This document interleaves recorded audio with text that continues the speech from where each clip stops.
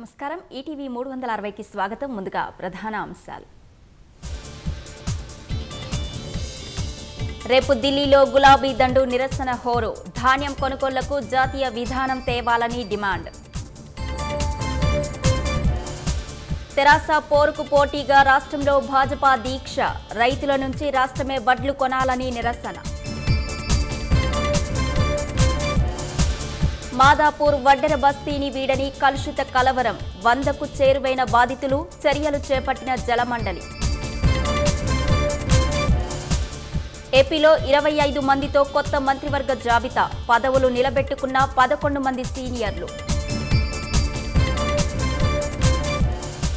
పాకిస్తాన్ కొత్త ప్రధాని అభ్యర్థిగా షెహబాజ్ షరీఫ్. మరో స్వాతంత్ర్య పోరాటం మొదలైందన్న ఇమ్రాన్ ఖాన్. రష్యా దండయాత్రతో నిర్జనంగా మారుతున్న ఉక్రెయిన్ నలభై ఐదు లక్షల మంది దేశం వీడారని ఐరాసా ప్రకటన.